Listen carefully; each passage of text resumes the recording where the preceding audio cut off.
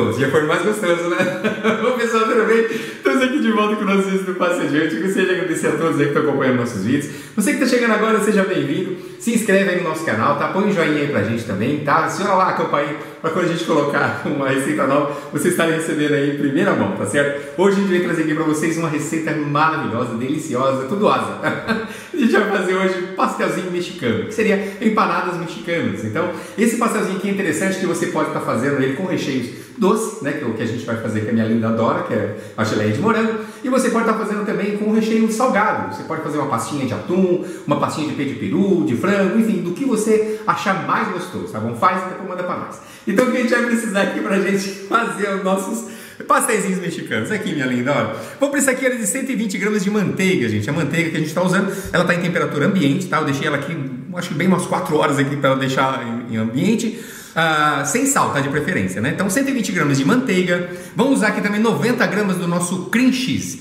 O cream cheese você encontra em supermercados, tem diversas marcas aí, tá? Não se prenda a marcas não, tá? Pode pegar o mais baratinho também que dá tudo certo. São 90 gramas aqui do cream cheese e 120 gramas de é, trigo, né? Farinha de trigo sem fermento, tá certo? É só isso a massa, só isso. Essa, essa massa aqui ela já fica um gostinho assim mais puxadinho pro sal já devido ao cream cheese, porque ele já tem um gostinho assim bem acentuado, né? De um creme de leite assim feitinho. Mais para frente nós vamos dar a receita disso aí também, tá bom? Então a gente vai fazer o nosso recheio e cobertura ao mesmo tempo.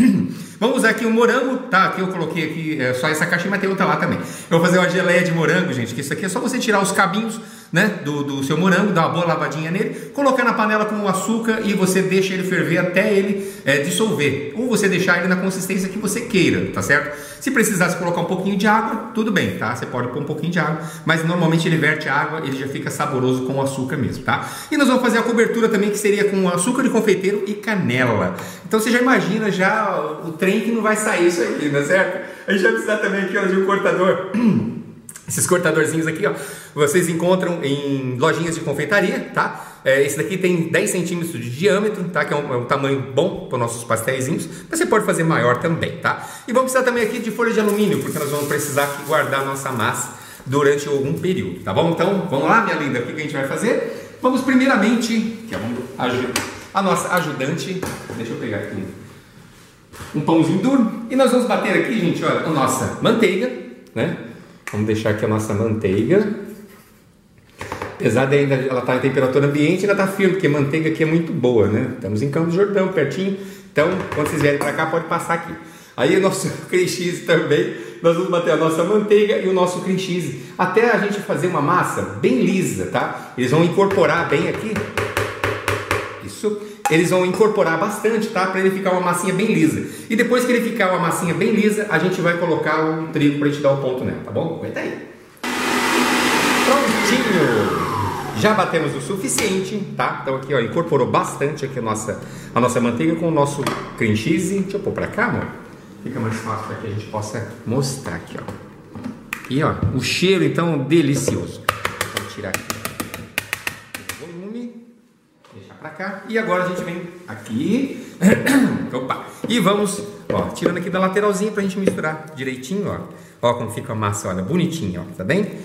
Ó, certo? Agora a gente vai incorporar aqui o nosso trigo, ó, um pouquinho aos pouquinhos e a gente vai misturando aqui até a gente formar a nossa massinha.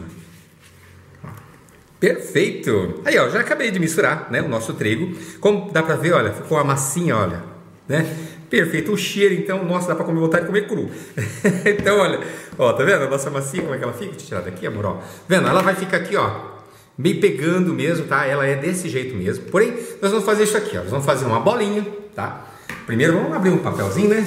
a gente vai abrir aqui, olha. Vamos colocar num papel alumínio, tá? Para que ela possa estar tá mantendo a temperatura um pouquinho mais fria, porque nós precisamos que ela massa fique mais é, fria, né? Porque na realidade ela vai ter que ser mexida é, em temperatura ambiente, porém ela vai é, pegar uma consistência na geladeira, tá? Essa massinha aqui agora, gente, a gente vai fazer isso aqui. Nós vamos embalar, né?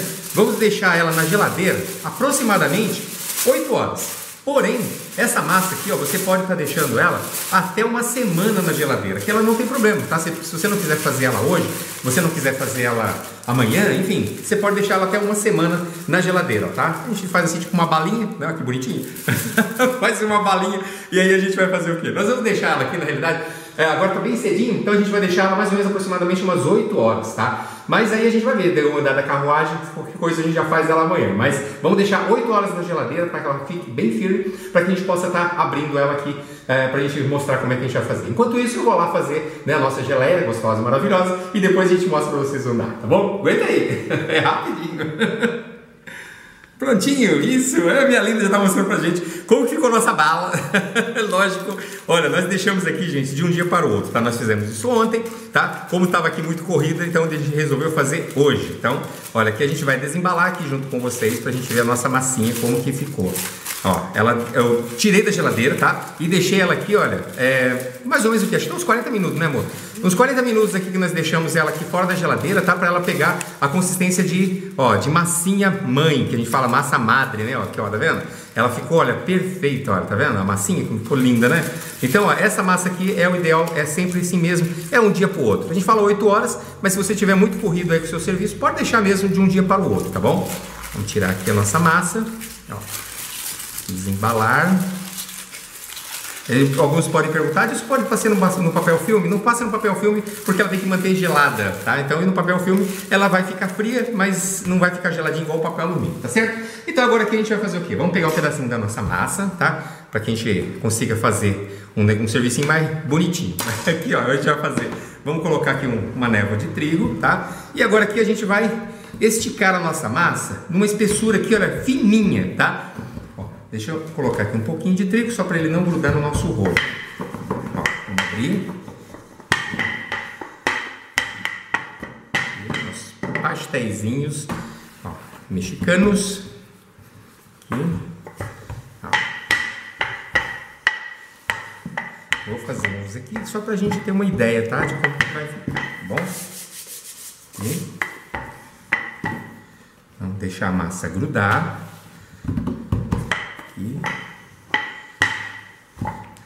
Perfeito? Só para a gente ter uma ideia, tá bom? Então agora que a gente vem com o nosso cortadorzinho, tá? Esse daqui é um, um diâmetro de 10 centímetros, tá? A gente faz aqui, olha, um... Tirar um disco, ó, vamos tirar aqui um outro. E deu para fazer outro? Perfeito, ó. Tá? Vamos tirar aqui a rebarbinha, depois a gente mistura e abre novamente. Aqui, isso, perfeito, ó. Vamos pôr aqui. Aqui ficou a nossa geleinha, que a minha linda já provou. Olha, gente, é super simples, isso daqui é super natural. A gente faz, lava os morangos, tira a, o cabinho dele, você corta uns pedaços e você coloca na panela junto com açúcar a seu gosto, tá? Ó. Então a gente deixa ele ferver, ferver, e ele vai fazer essa geleia aqui, ó, linda, gostosa, maravilhosa. Então agora aqui a gente vai fazer o quê? Nós vamos pegar aqui uma porção de geleia e vamos colocar aqui no meio. Ó. O gosto também, tá? A quantidade aí, ó, é com vocês. A geleia que nós estamos usando é de morango, mas você pode usar de frutas vermelhas, enfim, do que você quiser, tá? Eu vou colocar uma quantidade para que ele não vaze. Então, a gente vai vir aqui com água, tá? E vamos molhar o nosso dedinho e vamos passar na borda dela, tá?